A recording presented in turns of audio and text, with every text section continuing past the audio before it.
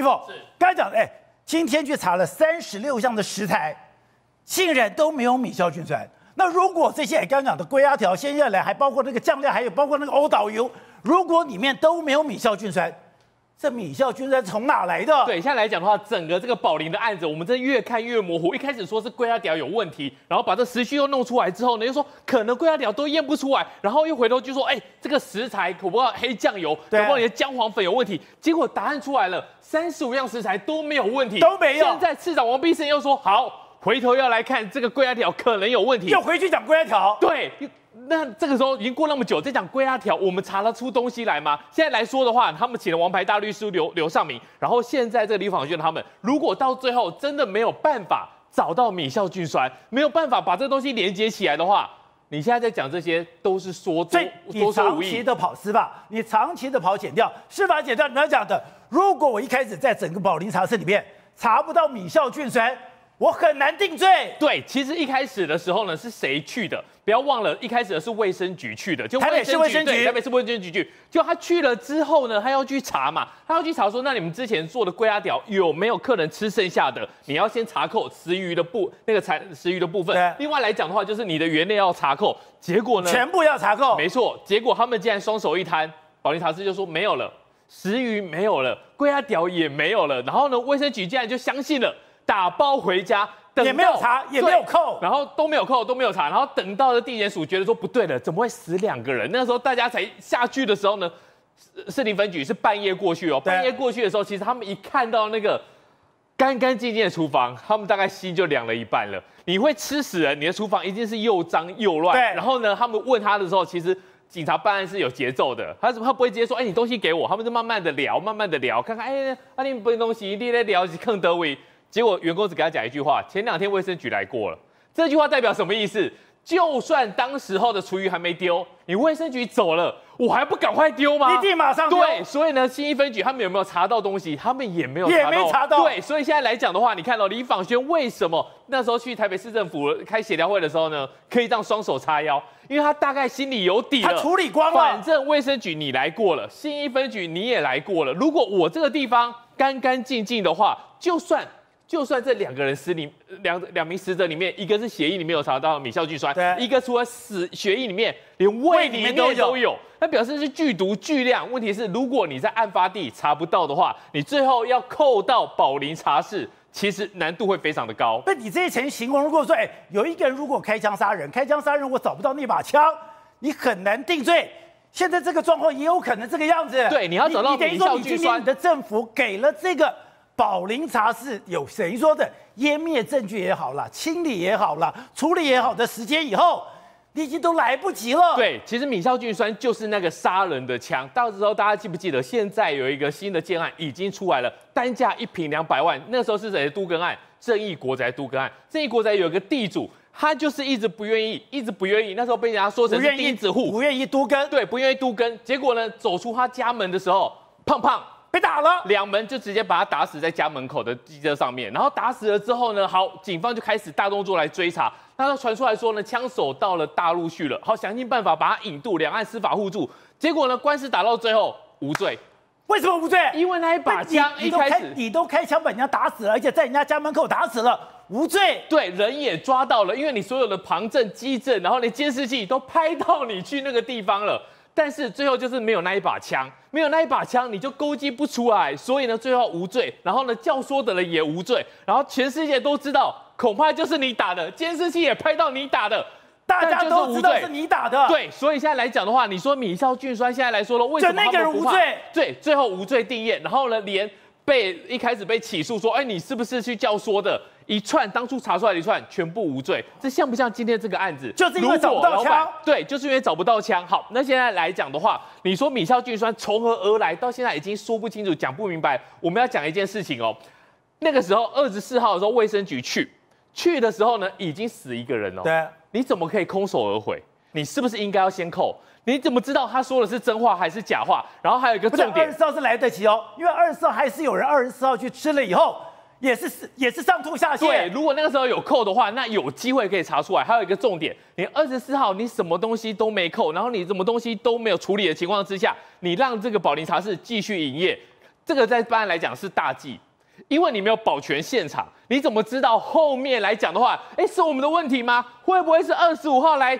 来消费的消费者，二十六号来吃饭的客人，他们的问题。所以其实，在二十四号的时候呢，台北市政府应该就把新一分局一起叫过来。对，在过去来讲，你出了人命，你第一个就是保全证据、保全现场，你要把全部东西给弄完。你去了，你也问了，问了以后你空手而回，不但空手而回，你要继续营业，你让他继续营业的意思就是，他有时间处理所有的善后。对，所以呢，他在二十四号看如果你卫生局来之后呢，一定都处理掉了。如果你没有处理掉的话，怎么可能会？你什么东西都查不出来？那现在你在讲的时候，你已经理不清楚、搞不清楚，说这批货到底是哪年哪时候来的？好，那现在只能从说，你当时在叫归阿条的时候，我们往前回推，回推之后，这个到底出了什么问题？搞了半天，刚刚讲到的，你现在最严重的是十九号，对，十九号，而且十九号是干嘛？十九号是新的厨师，那个越南厨师去代班的时刻，所以再去问那个所谓的之前的这些店员，他说他们的龟鸭条不放冷藏的。龟鸭条为了让它能够香跟，为了能够 Q，不敢放冰箱，直接暴露在常温状态。好，我们来讲一下，他一次进货龟鸭条二十斤，二十斤多不多？其实不多。如果你是在百货公司，你看原百五星级，就是那种信义区的那个百货公司美食街，二十斤一个午餐一个晚餐大概就处理掉了。为什么龟鸭条他们会用常温保存，不会把它放到里面去？简单来说，他们就觉得他们应该把它处理掉，应该可以炒完。再来，你放到冰箱里面。你再拿出来，Dinky 啊，你能卖吗？对，会干干，你就没办法炒，炒不动啦。他们不放冰箱的。对，现在来讲的话，他们的东西来讲，习惯不冰，甚至放过夜。好，重点来了，三月十九号你进的这一批二十斤，可是呢，生意不好，因为十十六号你进货了，对，十七、十八号现在都有 POS 机打出来，没有几没有几个客人点啊。你说我我三十六号进了二十斤，我十七、十八号根本卖不掉，所以有人讲说十九号就。狂炒库存，好重点来了。如果你十六号进的，你真的没有放在冰箱里面的话，你是不是属于常温的一个铺菜状况？你觉得平常百货公司的美食街人一多也是很热，更何况你下班之后没有冷气空调更热。结果啊，对，小鬼鬼才十九号就来吃中了，另外一个阿贝二十二号来吃也中了，所以呢这一批就是非常重要的。你说这一批。就是三月十六号进的龟鸭条的二十斤，拿到二十斤的龟鸭条，你等于说在二十二号的时候都吃光了，都吃光了。好，还有一个重点，如果以你的 POS 机来看的话，你的生意这么差，怎么可能前面卖不掉？你这时候全部卖掉，你二十三号我就很怀疑，二十三号这一批是因为已经没货了，还是这一批货已经知道？有人拉肚子了，不能吃了，所以把它丢掉，再重新进货的。所以如果你在二十四号你去扣的话，其实应该是有机会扣到的。问题是现在来讲，再说过去已经没有意义了，因为你卫生局去了一趟，新一分局也去了一趟，都没有扣到东西，你再回头就去查，查不到。而且刚刚讲的，现在连王必胜又回头讲说，这跟龟鸭条是有关系。我们的龟鸭条里面原来有很多的那个玉米的成分，玉米成分它是等于说。是让这个米酵菌酸致命三条件里面是可能的。对，大家都觉得很奇怪，台湾怎么会突然出现这个米酵菌酸？然后呢，让那么多人死掉，两个人死掉，五个人重症，其中五个人重症里面有叶克膜装到现在。以我们实际上来讲，叶克膜只能够保存你一段时间，那是一个协议帮谱，你装越久，后面的状况是越不好。好，那你要有米酵菌酸有三个，第一个你要有一个唐昌普伯克氏菌，你要有这个东西才会产生出米酵米酵菌酸。我们有吗？目前来讲找不到。好，龟鸭屌有可能，因为它是玉米淀粉。对，好，好，它的温度。所以我们以前以为说这种板条龟鸭条，你要不然你是米做的，要不要？他觉得什么？它主要的是来自淀粉，玉米淀粉。对，所以跟我们想象中都不一样。那这就是，那就是它的一个介质。介质好，这个条件有了。另外来讲的话，这个温度其实二十二度到二十三度也条件有了。问题现在来讲，到底唐昌伯克氏菌哪里来的？现在来讲，其实都查不清楚，说不明白。好，那现在。我们这说在两个礼拜可以答有答案吗？对，其实我觉得在两个礼拜呢，它是会会有一个化验的结果出来，但是还是要回到那个点，你化验结果出来，你要去怎么扣宝林茶室的现场？你没有这个犯罪现场，你要怎么去扣宝林茶室的店长、厨师？你扣不了宝林茶室的店长跟厨师，你要怎么去扣到李访轩？你现在来讲的话，就是一个串一个。如果你第一个现场你这条线漏掉了。你后面是扣不起来的，你可能最后我们真的只能双手一摊，让他，你就像那个五亿高中生，对，大家都知道有鬼，大家都知道不合理，可是大家都莫可奈何。，对，当你没有办法把关键证物拿到，他还找了这个王牌大律师刘尚明，要跟他讲到第一时间，他就说他在当天那天那几天，我也让我爸妈吃了，我也让我老婆吃了。这是什么意思？为什么找了律师之后呢，就知道讲这个话？因为他就是在法律诉讼上面的一个不确定性。你不要说你来我这边吃就出事，我们其他人也吃了，怎么都没有出事。所以在整个东西拉下来之后呢，其实你要去抓他，你要去扣他，目前来讲真的没看到希望。非常，我们刚才讲，现在已经把宝林茶室里面三十五项食材，你的龟鸭条、酱油啦，包括油油面呐，全部都查了，我都查不到这个所谓的这个米酵菌酸。嗯那如果这样的话，我真的能够把米酵菌酸，然后呢这个是呃成因跟等于说宝林茶宝林茶室跟这些患哎等于是那个受害者勾连起来吗？是的，我想我们从公共卫生的一个角度的食物中毒的一个角度来看，很明确的看到目前的不管是两个死亡的个案，或者在 ICU 的个案，从他的体内都可以验出米酵菌酸这个毒素，这是非常明确的一件事情哈。所以在这个情况之下，我们可以看得到，就是说，因为刚才这个前一个来宾也提到，是说，因为在宝林茶室这个地方，你看它的龟鸭条，对不要忘记，它可以说它刚好天时地利人和刚好吻合，它是一个在 pH 中性的环境。然后呢，这个唐昌琥珀克氏菌，它最适合繁衍的那个温度就是在二十二到三十三度之间。常温对，那第三个就是说，它最喜欢的这个物质就是脂脂肪酸的一些物质，像是玉米啊、椰子油等等这些食物。那如果这三个条件都吻合的情况下，因为唐昌琥珀克氏菌而产生的米酵菌酸产生出来以后，就有可能被人吃下去以后产生这个毒素的一个情况。因此，在这个地方，如果说从这个角度来看，当然法法法律上是怎么判，这是法律的这个事情。但是从我们的食安，从我们的这个中毒事件、食物中毒事件的你们觉得这个角度来就是宝林茶室了当然，这个就是宝林茶室无误。为什么呢？因为我虽然在这三十五项的食材我查不到任何是米酵菌酸，但是还是可以认定。当然，因为到目前来讲，事实上去那边的人，事实上我们也问其中一个家属，他去，事实上跟他同行的人，他吃了国仔条，就他就发病。对。另外他的朋友吃炒饭的是没有事的，所以很清楚的看得到说，为什么王必胜能够提到是说龟鸭条。看起来就是九成以上就是那个龟鸭条。有问题，很明显就看到，因为大家都去那边吃，对。那但是你看，吃炒饭的没事，吃龟鸭条的都有事，而且到目前看起来，病情比较严重的也都是这些吃龟鸭条的这些人又发病的一个情况。所以如果从这个角度我们去认定的话，当然很明确的看到他发病的整个过程，也很明确的又验到这个米酵菌酸，对，所以都可以验证说这个确实就是可能在龟鸭条在天时地利人和三个条件下所产生的米酵菌酸毒素所造成的，好，那我的。们讲的第二位不幸往生的这个患者，他是在星光医院。当时你们说他的这个发病的速度，我曾看那个描述哦，对。他说发病的速度是他的这个所谓的肝指数一下到了一万四，他的整个酸的酸度到到什么？对。到说连洗肾都洗不过去。是的，我想哦，民众要先了解哈、哦，就是说要了解为什么我们叫米酵菌酸，它是一种立腺体的一个呃毒素的原因，就是说，因为基本上来讲，我们都知道，我们人体的细胞里面有个这个立腺体，立腺体会产生所谓 ATP，也就是三磷酸三磷呃三磷酸腺苷的这个东西 ATP，也就是产生我们细胞的能量。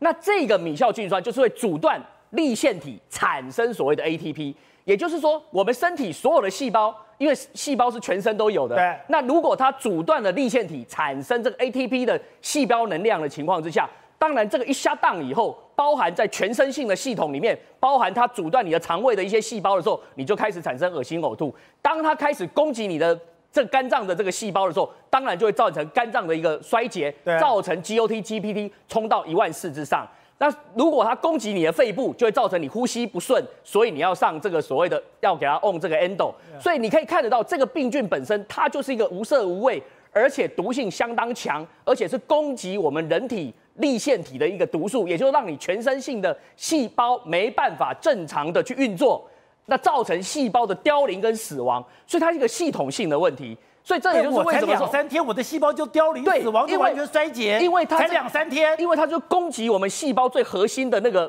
好这个立腺体，因为立腺体是我们细胞的所谓的这个呃工厂嘛，就是那个能量工厂。它把你的能量工厂破坏以后，让你没办法产生任任何能量，当然你细胞就很快的凋零跟死亡。才两天就凋零死亡，这个是它的速度就是进展这么快，所以你看它一开始这个个案进到医院的时候，他是一开始这个个案他在十九号，好，事实上吃完这个国仔条，他是先到这个所谓的这个诊所去看，对为什么？因为一开始他这个可能米硝菌酸攻击了这个肠胃道，导致他腹泻三十几次之后呢，他接下来他又攻击了这个呃肝以后，那就造成肝的衰竭它。会一直跑。对，它会全身性的，因为你全身都有细胞嘛，所以这个病毒本身你可以看得到，为什么这次的病情在我们星光医院看到的状况是又急又快。你可以看得到，它基本上来讲，他是二十二号就已经进到所谓的 ICU 去对，二十二号进到 ICU，二十五号就上了 ECMO，到了二十七号上午的时候，事实上整个的一个状况，包含我们可以看得到，最后他的病房加装了 ECMO，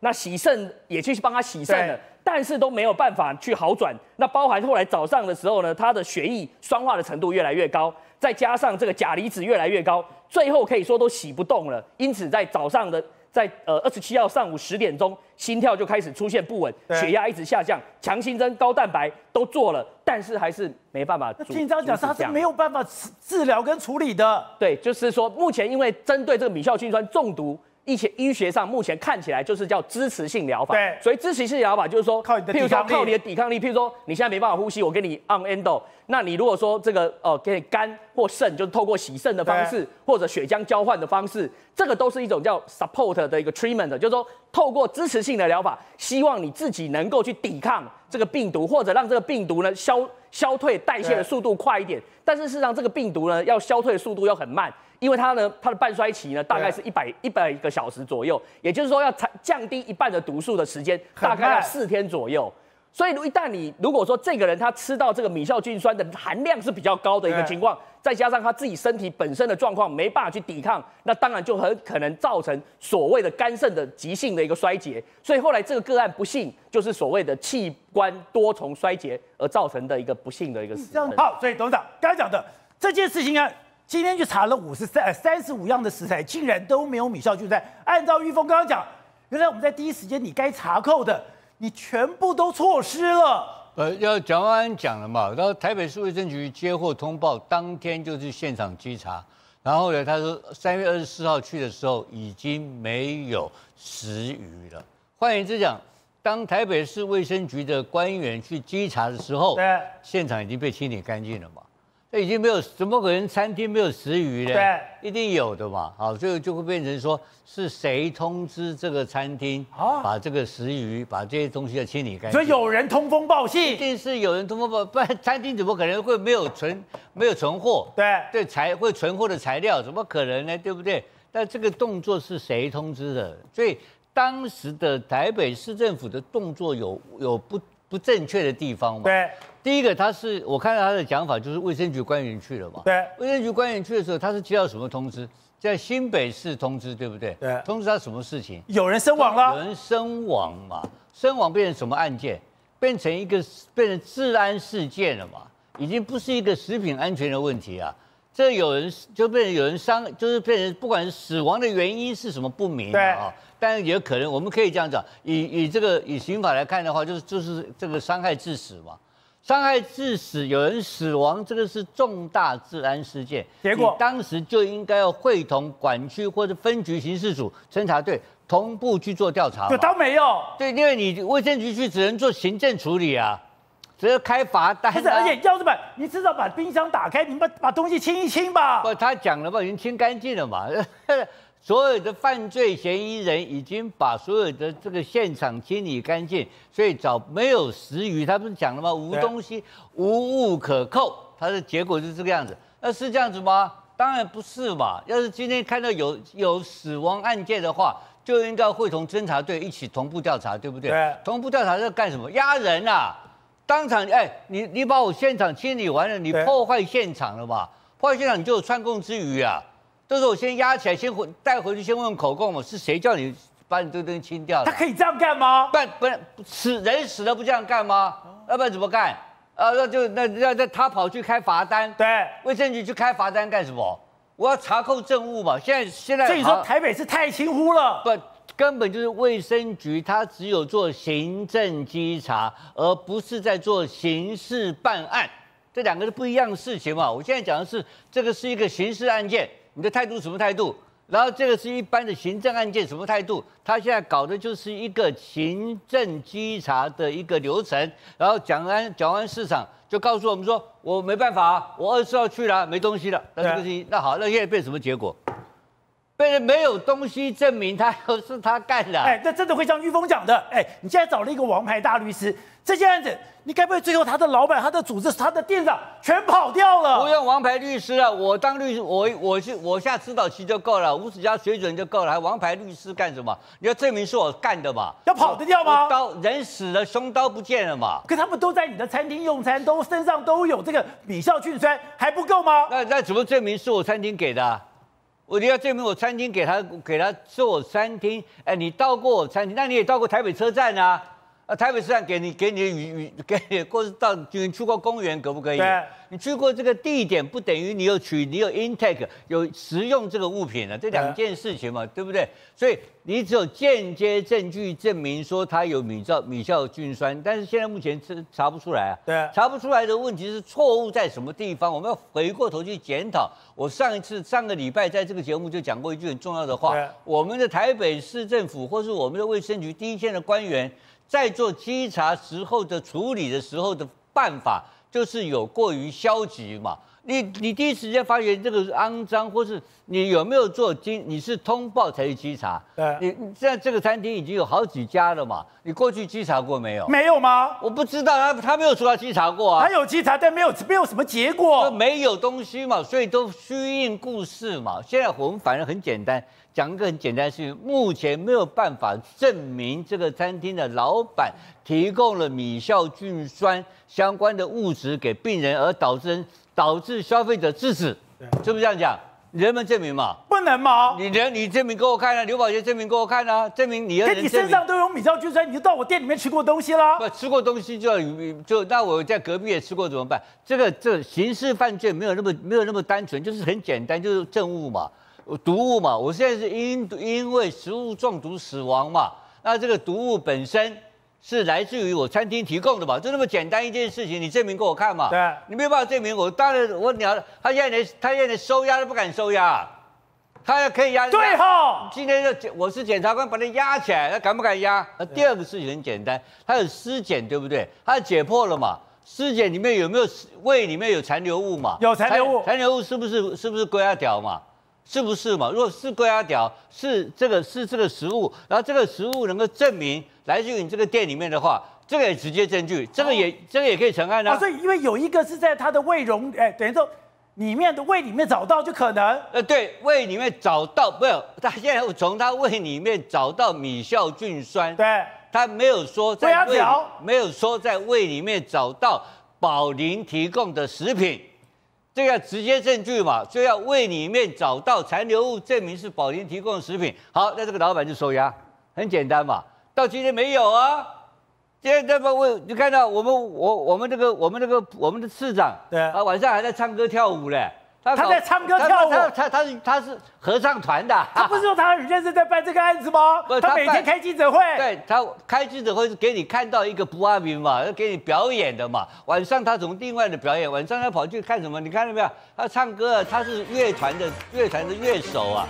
他还有他还有另外第二专场，他这个第二专场比第一专场有不？有点违和感嘛？另外？哎，拜托你嘞，你蔡英文的官员呢？当市长你要下台，你有个样子，在那边唱歌跳舞，高兴的不得了。那人家那人家家里面狼刀是西狼，你敢怎样？院长，今天请你特别怪，就是《天下杂志》做了一个白色风暴，我们都很骄傲，我们台湾的医疗体系，我们都觉得我们的健保是世界第一。可是它里面做到了几个数字把我吓掉，他说：“哎，我们现在台湾的人的寿命哦，已经输给韩国了。”我们现在糖尿病的死亡率竟然是日本的七倍，还有一个就是心肌梗塞，我们心肌梗塞的死亡率现在高达百分之二十五，哎，也是周边国家最高的。是的，我想哦，就是说这一期的《天下》杂志哦，点出一个台湾健保的一个根本性的问题，就是说大家都认为我们台湾的健保是世界第一，然后，但是事实上，包含台大医院的院长跟我的看法是一样，就是说事实上我们台湾的健保看得见。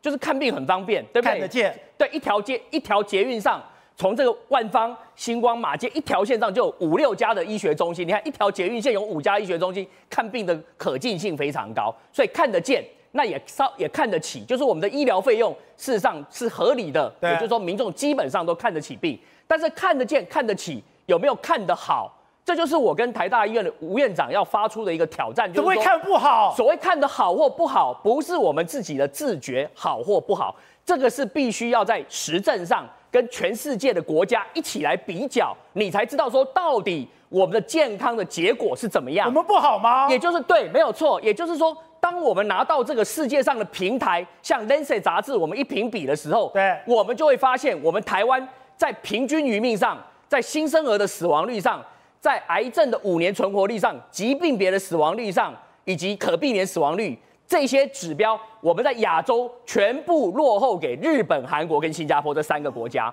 那如果用全世界的在《Lancet》杂志二零一五、一六、一九的杂志上的评比，大概我们就是排名三十五名到三十七名之间。也就是说，如果我们办全民健保的目的是要让民众的平均余命更高，不健康的余命要缩短，或者要降低癌症的五年存活率的，要提高五年存活率的这个这个治愈率的话，对那事实上这个我们跟全世界一比。不是说不好，而是说大概就是三十几名。那亚洲就是日本、韩国、新加坡还落后在他们之后。那这里面我最不服气的是什么？我跟各位报告，就是说我们在一九九六年，我们平均余命里还比韩国人多一岁哦。一九九六年，，对，经过二十四年以后，我们竟然落后韩国两岁，为什么？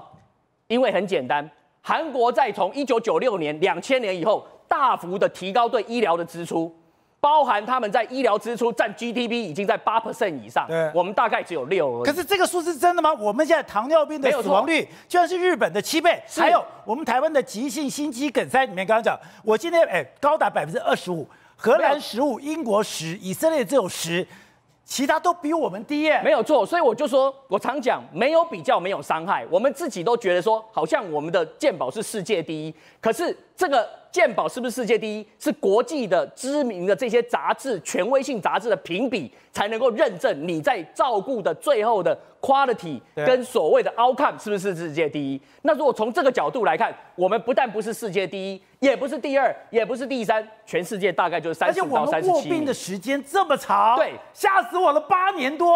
对，所以这个这个就是我要讲的是说，我们确实在医疗支出投投入不足，已经造成很多问题。我举一个例就好了哈，这个美国只要有癌症的新药可以治愈这个像是癌症的末期的病患的这样的新药一出来，日本它纳入健保的时间平均超过六十天，那我们台湾要几天才能纳入健保？几天五百五十五天。那就算哦，五百五十五天有，譬如说这个癌症的新药，它有十二个适应症，有十二个 indication，日本是十二个 ind indication 全部都纳入，我们台湾经过五百多天，只能纳入几个项目，差不多三分之一的项目，最严重的才能纳入，剩下的全部是什么？你要自己自费，健保不给付，为什么？因为健保钱不够啊，健保钱不够，所以就没有办法。快速的引进新药跟新科技，这也就是我讲的，当我们对医疗支出投入不足的时候，就会造成新药新科技速度会变慢，还有造成什么？医疗机构因为收入的降低，造成我们对于这个什么医护人员加薪就不能的那么的快，那造成你看去年医护人员就纷纷离开这个现场来做这样的抗议啊。不是，我们要讲柯文哲他在干嘛？他在卖 T 恤。他卖 T 恤上面还有一个七点半，就鼓励大家早上七点半就开始上班。啊，这无所谓，这是你喜欢就去买。可是，一般来讲，你政治人物卖这些东西都是你在选举的时候卖。怎么现在哎太平岁月你才拿到很多选举补助款？你在这个时刻你开始要卖东西，你不但卖东西，你最在乎什么？最在乎是我在募款的时候有没有被骇客攻击？我的募款的时候我顺不顺利？以前都说哎柯文哲很爱钱，我会觉得怎么可能？就他怎么可能会赚这种钱？不不，宝瑞哥，你如果对柯文哲这个行为有意见哦，代表那是你的认知有问题。我的认知有问题。对对对，柯文哲，我觉得他走上正轨啦、他是以一个网红的身份，他现在在开始正式经营什么？电商嘛、代购嘛、团购嘛，他把民众党当电商，把他自己当电商，他自己当电商。民众党只是他的经营平台而已。所以柯文哲现在已经找到正途，准备要发大钱了，因为他已经搞懂一件事情嘛，他靠网络、靠流量有没有办法赚到钱？赚不到，没办法嘛，你一定要带货，直播带货才可以把它变现嘛。所以柯文，所以他现在在变现。呃变现嘛，他要把他的人气跟流量，因为他现在有观察到一个大数据急速的下滑当中，所以在这个下滑过程当中，你知道做什么吗？对吧能捞就捞，赶快赚钱嘛，对不对？如果等到沉到谷底了，我还要怎么捞他？不是讲说他现在是台湾政治人物里面声量最高的吗？不然那是过去式的，各位，他过去式了过去式的龙井嘛，我就讲好，我们地震一。柯文哲办这个是我们讲的哦，小草见面会，跑去台北市议员说我们让你当一亿议员好不好？你说三百六十人很少，对不对？宝德哥我不这么认为，你知道为什么吗？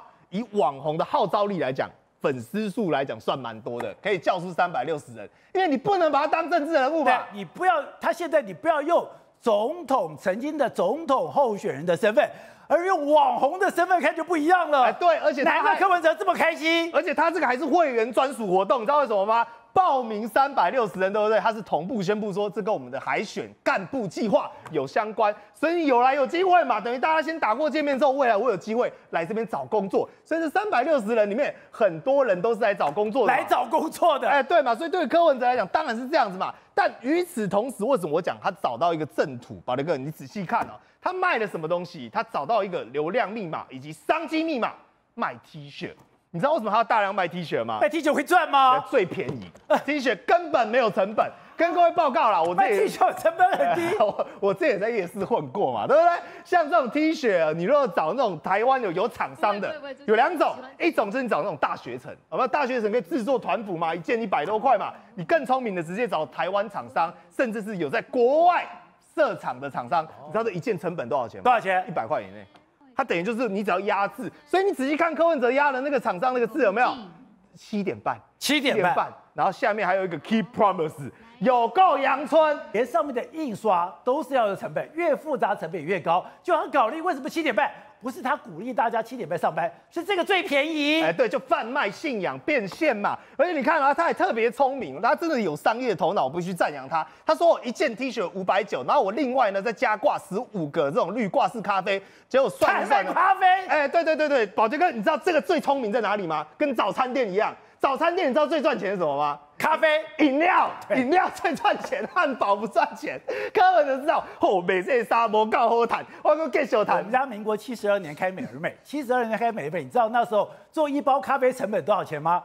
一杯咖啡卖十块，成本一块钱，再加上杯子、夯不啷加起来成本三块钱。哎，对，然后我刚刚有帮你试算过了，十五包咖啡绿挂式的哦，你知道一包卖多少钱吗？四十块，贵死了！我直接去便利商店买才四十块，他一包卖四十块，而且更可怕的是什么？还是打折过的哦。宝泉哥，那原本他十包卖你多少钱吗？多少钱八百块，我在那边帮他宣传，一一包八十块，一个绿挂式咖啡八十块，各位喝的不是咖啡，喝的是信仰，喝的是价值啊！开什么玩笑？那为什么我说柯文哲他已经正式从政治人物的领域完全淡出，专心做他的网红事业？看一下他的《天下》杂志收藏满意度好不好？这是过去他二零二二年的，来保了一个第几名？二零二二，我直接把它顺下去，二二就第二十二名，吊车尾。台湾二十二个县市，他排二十二名。哎，对，就做这一烂的，所以大家讲难怪吧？柯文哲是什么？没有成绩，只有成一。但我觉得有最夸张的是，好，他现在就是什？么？没有成绩，只有成一，哎，对对对，他现在是成一，只剩下七。点半了。哎，对，只剩下早上七点半可以出来说嘴。因为各位，你你细思极恐，好好去想一下、哦，柯文哲从总统大选选完之后，他到截至目前为止，他闭口开口，一般来讲，县市长都很喜欢提自己政绩啊，比如说有人说喜欢我说我盖捷运啊，啊有人说我招商引资啊，有人说我找台积电啊。那宝德哥，你知道柯文哲他最喜欢说自己的政绩是什么吗？是什么？呃呃，我七点半，我跟你讲，七点半就上班了，我每天都七点半上班啊。他讲这一句话，我讲至少讲超过十次以上。不是，我对柯文哲最佩服是你当了八年的市长哦，没有一条捷运在你手上减产，我们家旁边这个万大线还遥遥无期。哎对，宝哥，但我跟你讲，你觉得他在不在乎自己这件事情？他不在乎吗他已经完全放开了，他现在一心一意专心致业要把生意做好，而且也做得挺好的。先前还记不记得大家他讲说我要开了我想萧朝咖啡厅啊，后来是不是被人家吐槽说，哎，你这个政党经营违反，对不对？宝哥哥，我跟你讲，你知道刚刚那个木可好店、木可好靴它是什么吗？它就是线上咖啡馆，你都没有注意到啊，对不对？它是不是卖一包一包咖啡？一包一包咖啡，价格一杯八十块，是不是跟咖啡店一样对？那咖啡店是不是有周边商品？对所以它是在网络上先行试营运嘛他。还是要卖咖啡。哎，对嘛，而且跟我讲，在记者会上，他有被问到这个问题了，他把心中哦生意人的算盘哦不小心讲出来了，犯大忌了，犯大忌。为什么这样讲？记者就问他说：“哎，不对啊，柯主席，呃，你这个哦政党补助款哦，我跟你讲，你每年哦至少可以拿一点五亿啊，啊，你总统选举补助款也一点一亿啊，不是啊，补助款都发下来了，你为什么还要一直跟小草要钱？你是把他们当摇钱草吗？你知道柯文哲怎么回答吗？他就回答两件事，他说没有，我跟你讲，第一哦，这个这个是算这种免费啊，没有比较省钱的广告，你知道吗？我跟你讲哦，他们会穿着我们 T 恤在外面走来走去，有帮我们人肉广告，他把这些小草当人肉广告。我要买你，我等我给你买你的 T 恤，我还要当你的广告招牌。哎，大宝哥他骗人，你你有没有知道他刚才骗人什么？不是免钱，也不是省钱哦，是可以赚钱的广告哦。因为你要当柯文哲的广告，你还得要先付多少钱？付五百九，要先付五百九。英雄五百九，哎，对对对对，结果他到后面呢，才开始乱扯扯，说什么没有了，我就有希望年轻人早上七点半哦就可以赶快上班，创造一个新的文化。各位，我把这个整个总结起来，柯文哲讲了一件事情而已，他就说你们年轻人早上七点半上班，爆肝之后赚到每个月的薪水，记得来我的木可好店来消费，然后再出去外面帮我登广告，是不是史上聪明绝顶的商人？最聪明就莫过于此了吧？结果宝哥，你知道后来发生什么事情吗？我后来觉得太怪了，我后来就仔细再去重听他的记者会，结果没有想到记者是不是说你把小草当成摇钱草，对不对？这句话没问问没问题，没毛病嘛。就在柯文哲的频道里面，完全听不到这个字，摇钱草哎，。它会变成你知道什么？它变它你把小草变成草，你把小草变成草，就那个摇钱摇钱不见了摇钱不见了，然后也没有声音，然后就这样完全静音了。所以难怪柯文哲办公室里面挂毛主席的画像嘛，因为在全世界，我跟各位讲哦，我们这种亚洲国家只有两个人会干这种事情，一个叫习近平，那第二个就叫柯文哲，竟然天才至此，可以把我们讲记者所念的东西、问的问题给屏蔽。但是不只是如此，他所有的商品林林总总，现在都被人家检讨出来，除了 T 恤五百九了，手表吧这个卖两千块啊、他还卖手表，哎，而且不好意思，我有在夜市待过，跟各位介绍过？那个手表，我跟你讲，那成本可能一百块我都觉得算有点贵，就很阳春，但上面有价值，有 KP，然后卖喇叭，反正哦柯文哲卖喇叭哎卖喇叭也是两千块。柯文哲系列商品呢，我就未来哦只会层出层出不穷，不断推出。但我就反问一件事情，请问这是一个政党应该做的事情吗？或许你觉得不是，但因为柯文哲如果以网红来说，当然非常称职。好，so 这两天我们看到柯文哲非常的不高兴，就讲，哎，你们干嘛老是问我？我又没有错，错是干嘛？他说，你今天讲讲完，你把台之光的约给我解开看看。对可是大家讲的不对啊。大家问你的时候，你为什么这两千那个什么钱两千二到底是谁定的？没错你为什么定这个约？而且我们看了以后才恐怖的是，你是警察局特别定了这个约，我们去调了全台湾的警察局，嗯你柯文哲定的钱最贵。而且，事实上，我们过过去呢对柯文哲的印象就是说，他吵架一定会吵赢，跟国民党吵，跟朱立伦吵，哎、对，一定都吵赢。可是在这个台之光里面，你你不觉得他好像讲的都有气无力，左支右而且讲绌就觉得哎、好像卡卡的。为什么？因为他现在知道他陷入了一个陷阱之中，他现在可能逃不出来。他心虚了他自己也讲了后，有时候会有一点心虚的状况。他譬如他这几天，哎、我觉得很奇怪，明明是错的，做错的啊，那搞到现在变成是在检讨我。他认为说是这个蒋万安做错嘛，他就说你看现在有弊案出现，那请蒋蒋师傅把合约解除掉，做一下给我们看，看看你要你过程要面对多少的问题。宝姐，他这里面讲话有什么问题吗？有弊案出现，哎、你在的时候就有弊案出现了，那他为什么不做？因为他觉得会面对很多问题嘛，所以他不做。他就说，那你蒋万安去做嘛，我做不到，你就做做得到吗？就那蒋万安也出来跟他回应。他说：“哎、我们问你的是你二零一七年为什么要定那个约？那你不要去说，哎、叫我们解这个约，你不是问 A 答 B，你很奇怪，对不对？好，那我们就给他讲，这为什么现在还有点左支右绌，讲不出来吗？因为我们就把到我们调出五都，他跟警察局签约，对不对？对五都的这个监视器的这个相关的招标嘛，对不对？好，我们来对比一下。”对比新北市、桃园市，然后台中市、台南市跟高雄市，好，它数量其实他们的采购数量也不会比台北市少。哦，另外一个他们的速率来说，哎，也不会比台北市慢。台北市来说的话，哎，有大概约莫是两枚到三枚左右的这个数字。但是我们看这个价钱，价钱来说的话，宝姐，那费率来说的话，当然你看如果比较贵，你看它有到五 G 那用两千七嘛，那实际上如果你仔细来算的话，很多县市其实都不到两千二。那你为什么那么贵？你看都七百块，700而且400而且他们都是什么？他们都是一年一约，跟中华电信签约，也不需要跟中华，因为中华电信是允许你绑，那一年就好了，没关系，我们可以慢慢，因为速度一直越来越快，所以我们把它调整好，就这样。每年一约，一一年一约嘛，因为有更新的速度，哎、比如说像以前从四 G 到五 G，未来搞不好六 G，如果你一年一约的话，可以调整嘛。问题是你把它定死了，你把它定死，那个案子定了那么久的时间点，哎、请问你你未来技术怎么去更新？你就只能够按台智光的这个光纤网络，未未来升级到六 G 的时候，你还是要用台台智光嘛。所以现在大家就说，哎，你为什么要签那个台智光这个案子？他现在说啊，你去把这个母约给我解约看看。所以这变成是他讲的哦不清不楚，而且他根本也打不到整个问题的重心点。好，所以董事长。柯文哲本来很生气，说哎，你们刚刚都针对我，又不是我做错了。你有本事的话，叫蒋万去解约看看。就人家讲，我根本不是问你啊，现在才知道为什么柯文哲那么紧张，为什么今天当什么才这个所谓的议事议员被收押以后，他马上要跳出来忍八年了。你越看那个二零一百零六年的那个合约，太离谱了。不，柯文哲这个案子本身已经荒腔走板了，你看他整个人乱掉了嘛。他每天骂蒋万安干什么？你一个前任市长，他一个现任市长，你骂蒋万安，蒋万安比较好骂吗？然后第二个，他连副市长那个李世川出来讲两句话，他把李世川也讲，你凭什么资格讲话？这个简直是个嚣张啊，而且没有礼貌，粗鲁无闻到极点，就是简单粗暴。这个事情呢，耍嘴皮没有用。刘宝杰，我告诉你，这个检察官在办，在办了。检察官不会跟你吵架，检察官慢慢看，慢慢弄。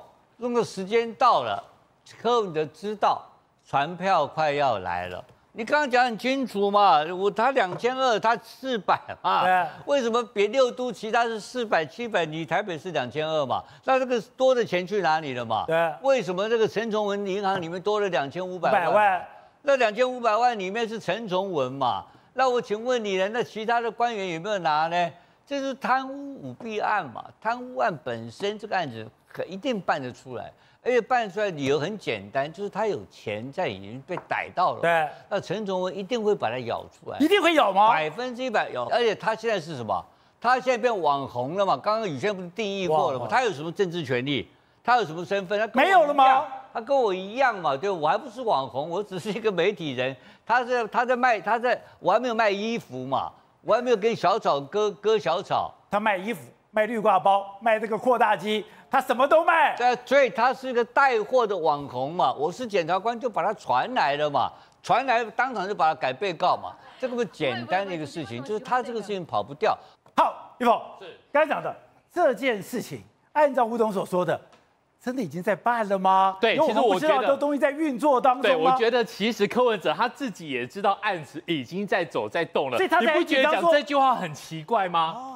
这句话的意思，我觉得现在有弊案出现状况下，请蒋世福把合约解除掉，做一遍给我们看看，看你过程要面对。多少问题？对，如果他被检察官传去的话，因为现在真的有弊案，有弊案就是这个两千两百块的一个问题。检察官一定问他说，最关键真的是两千两百块，就是这个问题，陈崇文才被压。那如果有这个状况的话，你也说你忍了八年，你为什么不解约呢？跟他讲说都是议员在搞啊，而且你要丢了很多民进党的议员，你们逼着我要用三 mega，用三 mega 才有两千两千二的问题啊。对，好，可是呢，这个东西来讲，还是回到那一句，议员能够维是，能够敲边鼓，最后还是你决定的啊。所以呢，他一定要为自己辩。驳说这个东西没办法解约的，如果解约一定有很多的问题，所以这句话我看到的时候，我就觉得说他已经在跟检察官讲了，所以他一定会遇到这个问题，所以他这句话已经是来讲给检察官听的。另外来讲，检察官一定会问一个问题：你如果真的觉得有状况，那你为什么要定这么高的一个价钱呢？很高你仔细看这个状况来讲，真的是我们先来讲一件事情：得标者为什么都是中华电信？因为中华电信已经深入每个家庭的最后一里了。都已经铺好了，所以记不记得我们曾经在这里讲过一件事情？警察局，没错，这件事情的前世今生就是警察局要装监视器。警察局想法很简单，监视器的镜头买来导去中华电信的光纤亏了，而且中华电信是不是承诺说要开一条专用的给他？所以呢，五都来讲都是用中华电信，你为什么一定要用台智光？所以好农民干的好农民用了台智光，我只能跟上去啊。那个是说不通的哈，你在法你在法律上是说不通的，因为它是优先。优先的意思就是说，如果他提的费率比较好的话，你可以优先给他。问题现在看起来比较来讲的话，没有比较好。人家都已经在五 G 了，一千多 M 了，然后呢，三十五 M，四百五十枚了。你的三枚你的三枚落在哪里？刚好死死在哪里？台中市。人家来讲的话，三枚是这里，而且呢，你还是人家的一半而已，人家是多少？六枚几百块而已，四百六十三块四百块，六十三块到好了，我就算你六十枚，六十枚四百九十一块，你的价钱为什么会这么不合理？所以现在来讲，柯文哲如果去讲回来的话，这两件事情差这么多，台中有三万两千三百七十八具的六枚到六十枚是等于说价钱四百六十三到四百九十一。对你只是人家的一半，但是呢，你的价钱却是人家的四倍。这件事情来讲的话，在检察官那里，其实我觉得柯文哲要过关没那么简单。马英九今天到了中国去，到了中国第一站，到了深圳，到了去看了腾讯，看了大疆无人机。他今天这么高兴，这么高兴，应该讲到一个春风得意马蹄马蹄疾。可是没有想到，到了腾讯以后，出了一个非常有趣的状况。当然，马化腾还是礼貌，我出来了。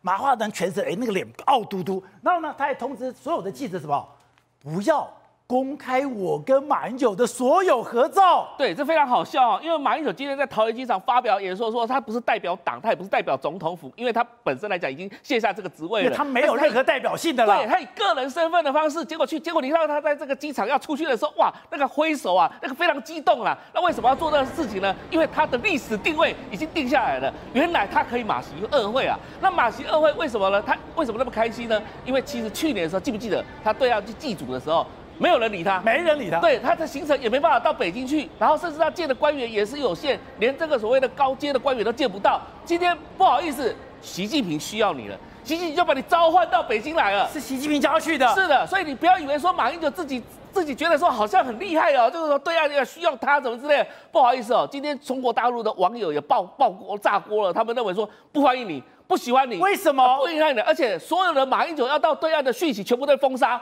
更重要的是什么事情呢？他今天到了这个腾讯的时候，马化腾见他的时候，而且还私底下交代媒体说，不要把这个照片了放出去。那为什么会这么小马心翼翼呢？去那边是习近平要拿来做大外宣的。拜登现在也准备找那个小老弟，日本啦、菲律宾啦，哎呦到美国来进行这个高峰会议。对他要跟岸田文雄，也要跟小马可是见是啊，面了进行。高会，然后南海搞成这样子，现在全世界都在围中的情况之下，那这时候呢，刚好什么五二零又要就赖清德要就职了，赖清德会讲什么话不知道，但是呢，至少把你这个马英九找去叫过来，告诉你说，哎，我今天就透过你马英九，我在跟你见面的时候，对全世界昭告我的对台政策嘛。所以马英这个习近平最主要目的就是在做表现，所以马英九这一次来讲的话，去。是被人家当做一个什么东西，就是傀儡的概念。我对你讲话，但是事实上是对全世界讲话，而不是对马英九讲话。但是马英九心里非常他这么开心他认为说自己已经达到而且你讲说马英九已经走上一个不归路了。马英九其实以前他是得到美国信任了，可是，在二零一五年当时的马习会之后，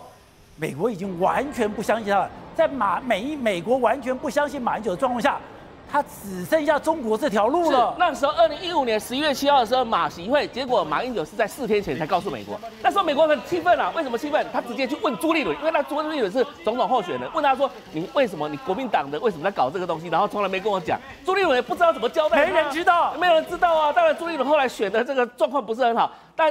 对马英九来讲的话，他为什么要隐瞒呢？他为什么要对美国隐瞒呢？为什么？是是哈佛大学毕业的吗？是美国也栽培培养出来的这个这样的一个政治人物吗？为什么他要欺骗美国？所以对美国来讲的话，他就认为说这个人不值得信任。接下来的话，马英九所有的动作还有所有的行为，在美国的眼中，当然就是已经是呃过气的一个政治人物了。